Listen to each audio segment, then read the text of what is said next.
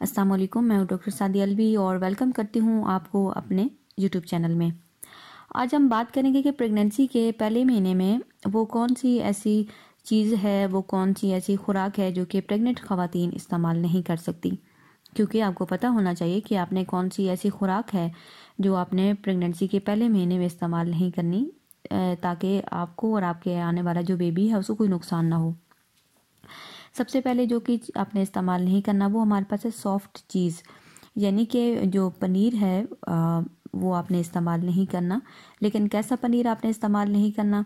आ, ऐसा पनीर जो कि ख़राब दूध से बना हो या बहुत ज़्यादा जो सॉफ्ट चीज़ है आ, वो आपने इस्तेमाल नहीं करना क्योंकि उसके अंदर पॉइज़न होता है और वो अवॉइड करना चाहिए प्रेगनेंसी के पहले महीने में। नंबर टू हमारे पास है कि पैक्ड फ़ूड और प्रोसेस्ड फ़ूड आपने इस्तेमाल नहीं करनी।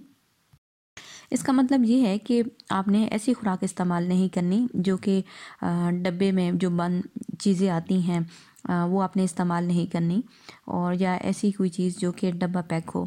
जैसे कि बाज़ार के जो जूस होते हैं, कोल्ड ड्रिंक्स होते हैं, केक, बिस्किट, पेस्ट्री और डब्बे में जितनी भी पैक चीज़ें आती हैं बनी बनाई, वो आपने इस्तेमाल नहीं करनी।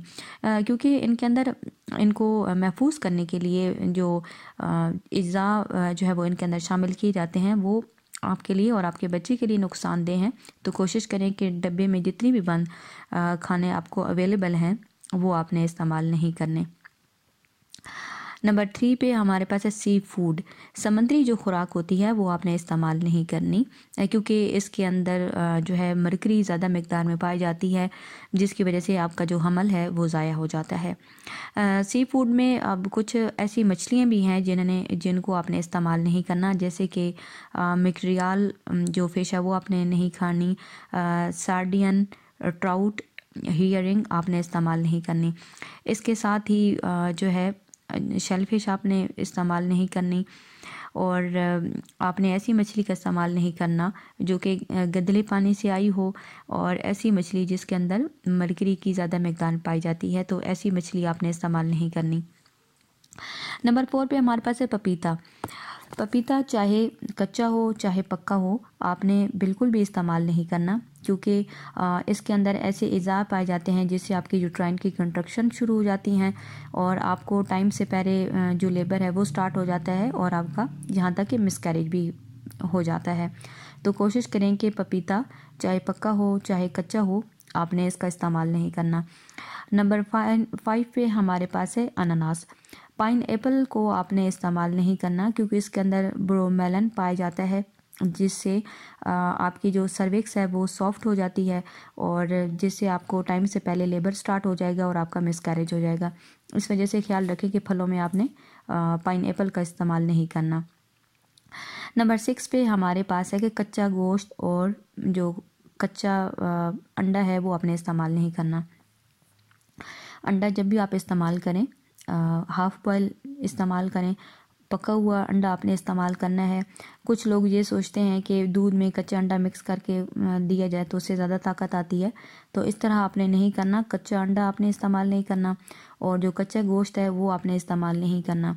कच्चे गोश्त से मुराद ये है कि गोश्त जब भी आप इस्तेमाल करें तो अच्छी तरह पका हुआ हो और जरासीमों से पाक हो, अच्छी तरह धुला हुआ और पका हुआ गोश्त आपने इस्तेमाल करना है। क्योंकि गोश्त के अंदर भी बहुत सारे जरासीम होते हैं जिनको हम पकाते हैं तो वो अच्छी तरह पकाने के बाद ही वो ख़त्म होते हैं।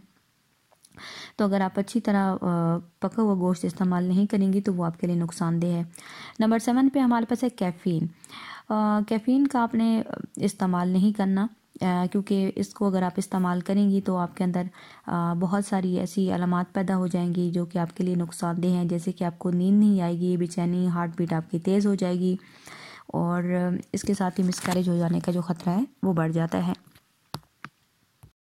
कैफ़ीन में चाय आती है, कॉफ़ी आती है तो या कोई भी ऐसी चीज़ जिसके अंदर कैफ़ीन पाई जाती है, वो आपने इस्तेमाल नहीं करनी।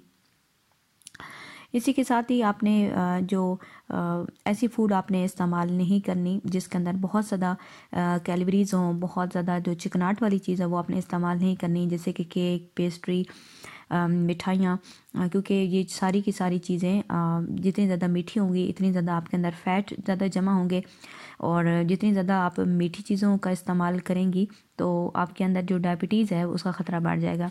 तो कोशिश करें कि ऐसी फ़ूड जिसके अंदर शुगर बहुत ज़्यादा हो वो आपने इस्तेमाल नहीं करनी। क्योंकि ये आप इस्तेमाल करेंगी तो आपका एक तो डायबिटीज़ हो जाएगा, आपका वेट बहुत ज़्यादा गेन हो जाएगा। और अगर आपके अंदर डायबिटीज़ होगी तो आपका जो आने वाला बेबी है उसके अंदर भी डायबिटीज़ होने के जो चांस है वो बढ़ जाते हैं। इसी के साथ ही जो कोल्ड ड्रिंक्स हैं, वो भी आपने इस्तेमाल नहीं करने। और इसी तरह बहुत सारे ड्रिंक्स होते हैं जिनके अंदर मीठा बहुत ज़्यादा पाया जाता है, वो आपने इस्तेमाल नहीं करनी। उम्मीद है कि आज की इस वीडियो में आपको पता चल गया होगा कि आपने कौन कौन सी ऐसी खुराक है जिससे परहेज़ करना है। वीडियो अच्छी लगे तो लाइक कर दीजिएगा और अपने कमेंट्स में मुझे बताइएगा कि मज़ीद वीडियो किन टॉपिक्स पे होनी चाहिए। Thanks for watching